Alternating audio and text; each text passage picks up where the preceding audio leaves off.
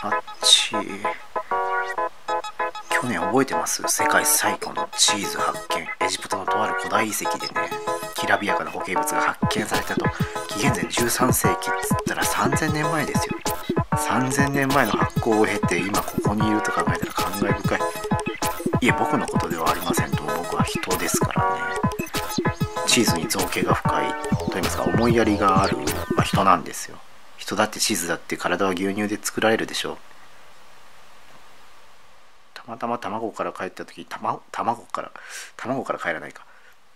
そのまあだから何だ？卵から帰った時に見た親の顔がチーズだったんですよ。だからチーズっぽい人になっちゃったんだよっていう、まあ、それは嘘なんですけど、まあ、それをそういう嘘も、まあ、たまにはつくですから嘘をつくでしょ人ですからね。人ですから。